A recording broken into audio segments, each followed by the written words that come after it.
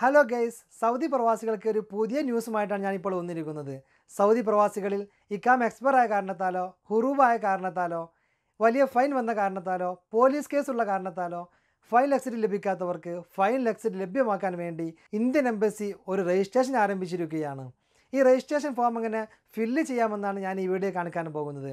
നാം എല്ലാവരും മനസ്സിലാക്കേണ്ട പ്രധാനപ്പെട്ട കാര്യം ഇങ്ങനെ ഒരു ഫോം ഫില്ല് ചെയ്തതുകൊണ്ട് നമുക്ക് നാട്ടിലേക്ക് പോകാൻ ഫൈൻ ലക്സറി ലഭിക്കുമെന്നല്ല മറിച്ച് നമ്മുടെ കേസ് പഠിക്കാൻ വേണ്ടി അതുമായി ബന്ധപ്പെട്ട ഡിപ്പാർട്ട്മെന്റിന് കൈമാറുന്നതായിരിക്കും. അത് തീർപ്പായി കഴിഞ്ഞാൽ നമുക്ക് ഫൈൻ ലെക്സ് ലഭിക്കുന്നതുമായിരിക്കും. അപ്പോൾ എന്നും പറയുന്നത് പോലെ ഇന്നും ഞാൻ ആവർത്തിക്കുകയാണ്. വീഡിയോ ലൈക്ക് ചെയ്യുക ചാനൽ സബ്സ്ക്രൈബ് ചെയ്ത് ബെൽ ബട്ടൺ ക്ലിക്ക് ചെയ്ത് നോക്കുക ലൈക്ക് ചെയ്യാനും സബ്സ്ക്രൈബ് ചെയ്യാനും ഒട്ടും മടിക്കേണ്ടതില്ല. അപ്പോൾ നമുക്ക് വീഡിയോയിലേക്ക് പ്രവേശിക്കാം. ഞാൻ ഈ വീഡിയോയ്ക്ക് താഴെ നൽകിയിട്ടുള്ള വെബ്സൈറ്റ് ലിങ്കിൽ പ്രവേശിക്കുമ്പോൾ ഇതുപോലെ ഒരു സൈറ്റ് തുറന്നു വരുന്നതായി കാണാം. ഇവിടെ നമുക്ക് റിക്വസ്റ്റ് ഫോം കാണാവുന്നതാണ്. എന്നാൽ ഈ ഫോം കാണുന്നില്ല എങ്കിൽ click me to show the form എന്നുള്ള ബട്ടൺ ക്ലിക്ക് ചെയ്യാവുന്നതാണ്. ഇവിടെ തന്നെ ഫില്ല് ചെയ്യാനുള്ള ഫോം തുറന്നു വരുന്നതായി കാണാം. നിരവധി കാര്യങ്ങൾ ഫോമിൽ ചോദിക്കുന്നുണ്ട്. പാസ്പോർട്ട് ഡീറ്റെയിൽസ് പാസ്പോർട്ടിന്റെ കോപ്പി ഇക്കാമ ഡീറ്റെയിൽസ് ഇക്കാമയുടെ കോപ്പി വിസ ടൈപ്പ് ഇത്രയും കാര്യങ്ങളാണ് ഇതിൽ ചോദിക്കുന്നത്. ഇവയെല്ലാം നാം ഫില്ല് ചെയ്യേണ്ടതാണ്.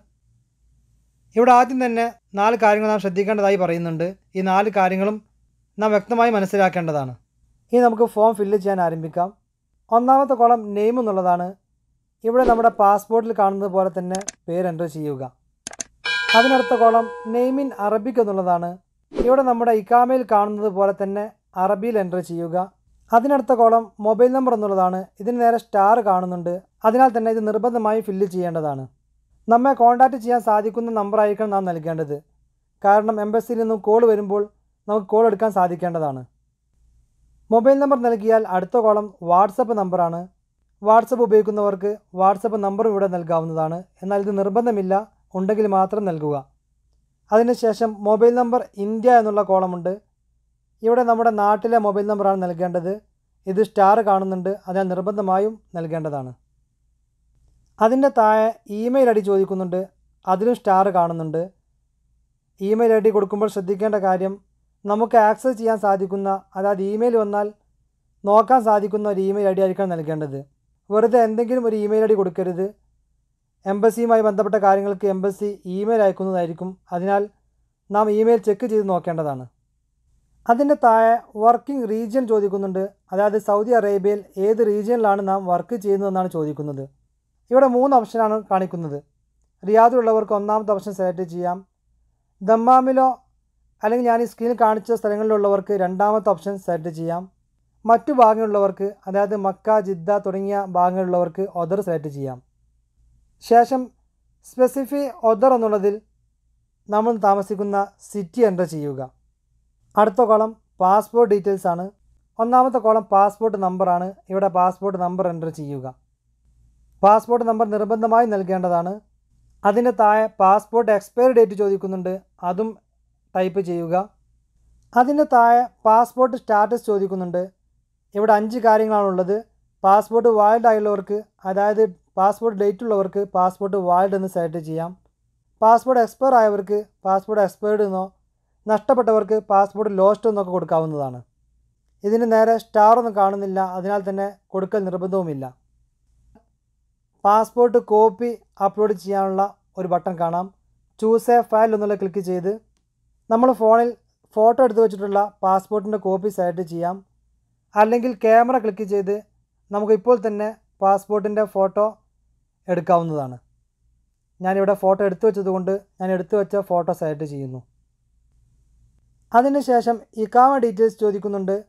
ഇക്കാമ ഓർ ബോർഡർ നമ്പർ എന്നുള്ളതിൽ നമ്മുടെ ഇക്കാമ നമ്പർ അല്ലെങ്കിൽ ബോർഡർ നമ്പർ എന്റർ ചെയ്യുക. ഇക്കാമ ലഭിക്കാത്തവർക്ക് ബോർഡർ നമ്പർ ഉണ്ടാവും. ബോർഡർ നമ്പർ അറിയാൻ വേണ്ടി വാട്ട് ഈസ് ബോർഡർ നമ്പർ എന്നുള്ള ഒരു ലിങ്ക് ഇവിടെ കാണുന്നുണ്ട്. അത് ക്ലിക്ക് ചെയ്യാം. തുറന്നു വന്നിരിക്കുന്ന പേജിൽ check your border number online എന്നുള്ള ഒരു പേജ് വന്നതായി കാണാം. വിസ പേജിന്റെ മുകളിൽ കാണുന്ന പേജിൽ പെന്ന് കൊണ്ട് എഴുതിയതായി കാണാം. ഇതാണ് ബോർഡർ നമ്പർ ഇക്കാമ ഇല്ലാത്തവർക്ക് ഈ നമ്പർ നൽകിയാൽ മതിയാവുന്നതാണ്. ഇക്കാമയുള്ളവർ ഇക്കാമ നമ്പർ ഇവിടെ എന്റർ ചെയ്യുക. അതിന്റെ താഴെ ഇക്കാമ എക്സ്പയറി ഡേറ്റ് ചോദിക്കുന്നുണ്ട്. നമ്മുടെ കയ്യിൽ അഭിഷർ ആപ്ലിക്കേഷൻ ഉണ്ടെങ്കിൽ അതിൽ ചെക്ക് ചെയ്താൽ നമ്മുടെ ഇക്കാമ എക്സ്പയറി ഡേറ്റ് ലഭിക്കുന്നതാണ്. അഭിഷർ ഇല്ലാത്തവർക്ക് ഇക്കാമ എക്സ്പയറി ഡേറ്റ് എങ്ങനെ ചെക്ക് ചെയ്യാമെന്നുള്ള വീഡിയോ ഞാൻ ചെയ്തിട്ടുണ്ട്. ആ വീഡിയോ ലിങ്ക് മുകളിൽ ഐ ബട്ടണിലും താഴെ കമന്റിലും കാണാവുന്നതാണ്. നമുക്ക് ലഭിക്കുന്ന ഇക്കാമ എക്സ്പയറി ഡേറ്റ് ഹിജ്രി ഡേറ്റിലായിരിക്കും ഉണ്ടാവുക. എന്നാൽ ഇവിടെ നൽകേണ്ടത് ഗ്രിഗോറിയൻ ഫോർമാറ്റിലായതുകൊണ്ട് ഹിജ്രി ഡേറ്റ് എങ്ങനെ ഗ്രിഗോറിയൻ ഫോർമാറ്റിലേക്ക് മാറ്റുക എന്നുള്ളത് കാണാൻ വേണ്ടി ഞാൻ ഈ വീഡിയോയ്ക്ക് താഴെ ലിങ്ക് നൽകിയിട്ടുണ്ട്. ആ വെബ്സൈറ്റിൽ പ്രവേശിക്കുക. ഇസ്ലാം സിറ്റി ഡോട്ട് ഓർജ് എന്നുള്ള വെബ്സൈറ്റിൽ ഹിജ്രി ഗ്രിഗോറിയൻ കംഫർട്ടർ എന്ന് കാണാം. അതിൽ ഫ്രം ഹിജ്രി എന്നുള്ള ക്ലിക്ക് ചെയ്യുക. അതിനുശേഷം മന്ത് ഡേ ഇയർ എന്നുള്ള കോളങ്ങളെല്ലാം ഫില്ല് ചെയ്യുക. ഇവിടെ നാം ശ്രദ്ധിക്കേണ്ട കാര്യം ഒന്നാമത്തെ കോളം മാസമാണ് ചോദിക്കുന്നത്. നമ്മുടെ ഓപ്ഷനിൽ കാണിക്കുന്നതിൽ ആദ്യം ഇയറും പിന്നീട് മന്തും പിന്നീട് ഡേറ്റുമായിരിക്കും കാണിക്കുക. എന്നാൽ ഇവിടെ ആദ്യമായി ചോദിക്കുന്നത് മാസമാണ്. അതിന് ആദ്യം തന്നെ മാസം സെലക്ട് ചെയ്യുക. അതിനുശേഷം ഡേറ്റ് സെലക്ട് ചെയ്യുക. ശേഷം ഇയറും സെലക്ട് ചെയ്യാം. മന്തും ഡേറ്റും ഇയറും കറക്റ്റായി നൽകിയാൽ കൺവേർട്ട് ഡേറ്റ് എന്നുള്ള ബട്ടൺ ക്ലിക്ക് ചെയ്യുക.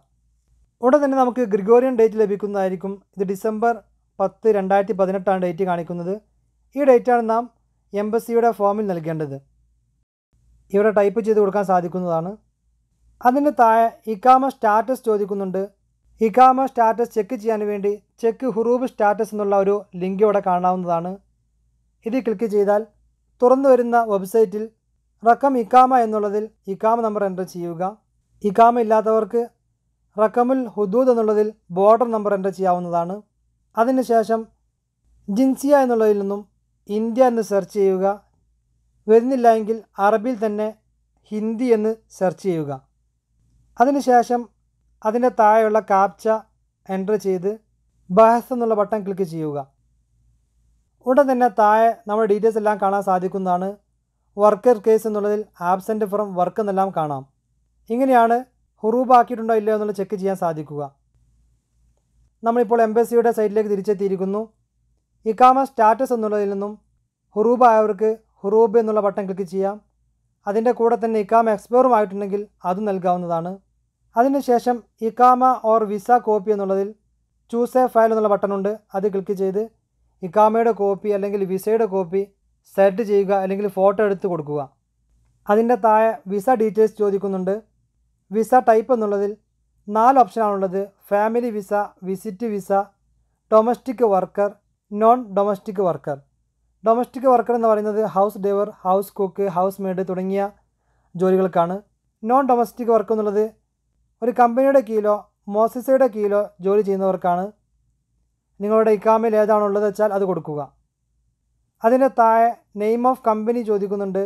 അതുപോലെ contact number of sponsor or company എന്നുള്ള കോളമുണ്ട് ഇത് രണ്ടും നൽകൽ നിർബന്ധമില്ല. കമ്പനിയുടെ പേരും കോണ്ടാക്റ്റ് നമ്പറും അറിയുന്നവർ അതെല്ലാം നൽകുക. നമ്മുടെ പരാതി വേഗത്തിൽ പരിഹരിക്കാൻ ഇത് സഹായകമായേക്കാം. അതിന്റെ താഴെ ഡിക്ലറേഷൻ ഉണ്ട്. ഐ എഗ്രി എന്നുള്ള ബട്ടൺ ക്ലിക്ക് ചെയ്യുക. ശേഷം സബ്മിറ്റ് ബട്ടൺ ക്ലിക്ക് ചെയ്യാം. സബ്മിഷൻ സക്സസ്ഫുൾ എന്നുള്ള മെസ്സേജ് കാണാം.